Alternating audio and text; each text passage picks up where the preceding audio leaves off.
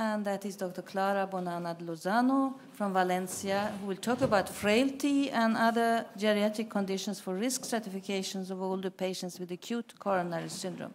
Please. Good morning. I'm going to speak about frailty and other geriatric condition of elderly patients with acute coronary syndrome. There are no conflicts of interest in this work. As we know, life expectancy is increasing and general population is aging. Due to this phenomenon, an increasing number of elderly patients are being admitted to the cardiology department with the diagnosis of an acute coronary syndrome, unstable angina, or myocardial infarction every year. And we must adapt to this social change to give the most appropriate medical care to these patients age alone is not enough to determine the prognosis of elderly people, and geriatric conditions define biological features related to age. The most important geriatric conditions are frailty, defined as a status of decreased physiologic reserve and increased vulnerability and elevated risk of cata catastrophic decline in health and function, physical disability, that is a limitation of physical function of limbs, fine movement, etc., instrumental disability, that is the inability to perform activities of daily living, cognitive impairment, a deficit of mental functions, and finally, comorbidity, that is the presence of one or more additional illness, illnesses. We studied 342 patients more than 60 years old admitted to a single center with the diagnosis of an acute coronary syndrome, that is angina, or myocardial infarction.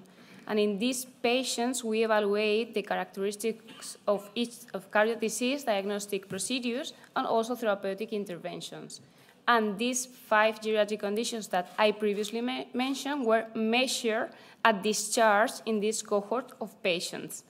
Finally, we analyzed the relationship between these geriatric conditions and death or recurrent myocardial infarction at 30 months median follow-up, and the additional value of this geriatric assessment to the, to the usual clinical evaluation was also studied. We found that all five geriatric conditions had an association with worse outcome in these elderly patients, and frailty was the strongest independent predictor of death or recurrent myocardial infarction and increased the risk of mortality by three times. For that, we conclude that when elderly patients are admitted to hospital with an angina or an acute myocardial infarction, their evaluation should include the assessment of geriatric conditions. And among geriatric conditions, frailty captures most of the prognostic information. This will help, help practitioners to identify who is most at risk of poor outcomes in this setting of an acute coronary syndrome, and better risk stratification will lead to better therapeutic strategies for this growing elderly high-risk population. But further investigation is warranted. Thank you. Thank you very, very much. And now it's open for discussion and questions. Anyone?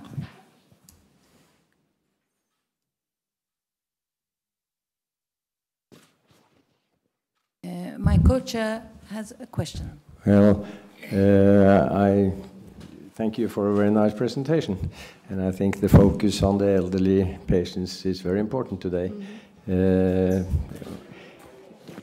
the age limit of 65 years. Yeah. Uh, I think we have very healthy people down to that age, and uh, the rest of the presentations here will be concerned with octogenarians and even older people. Mm. Uh, could you make some comment on the age limit of 65? Yeah, we, we choose that age because in previous study, the cutoff of the age is 65 or 70 years old.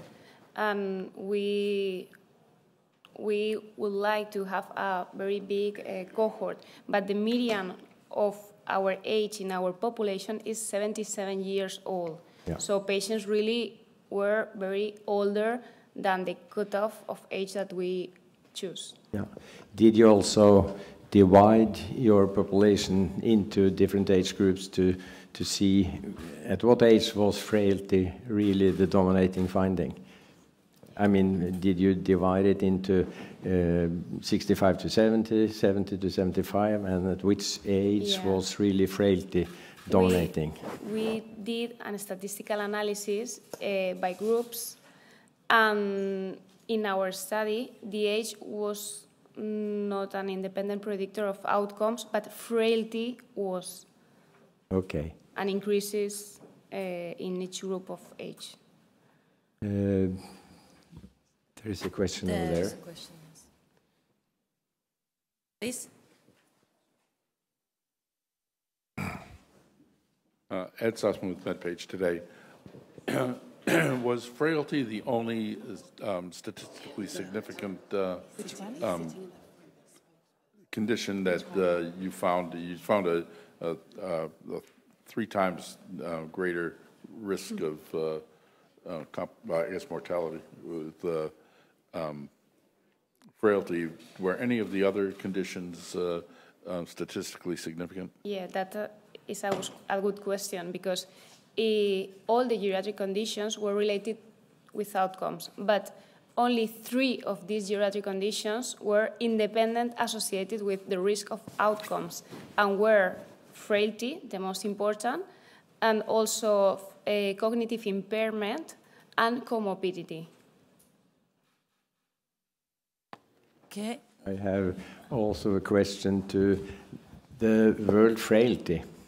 How easy was that in general practice to really define frailty in the patients? Because it's uh, probably not a very exact term. Very good question. Could you give some information about how to really uh, mark out for frailty?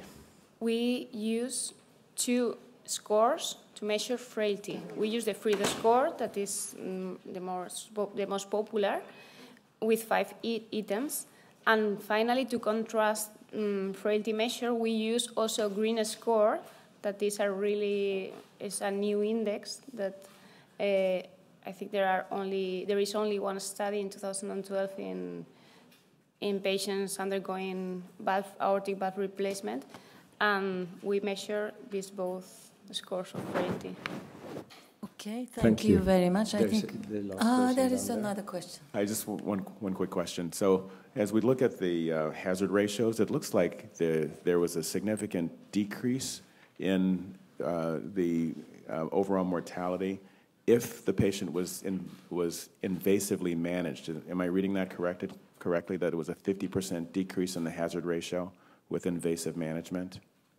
No, I, So in our on- results, on your previous slide, maybe that one. It's the sixth line down. this Hard to read. These are, these are the multivariable models that it, it means that we created a model, a clinical model for risk prediction. Yes. and uh, after that, to this model that uh, predicts high, high risk of patient very well, we added these three ge- geriatric conditions that I mentioned to, uh, to see if the, the model of risk predic- prediction was strongest.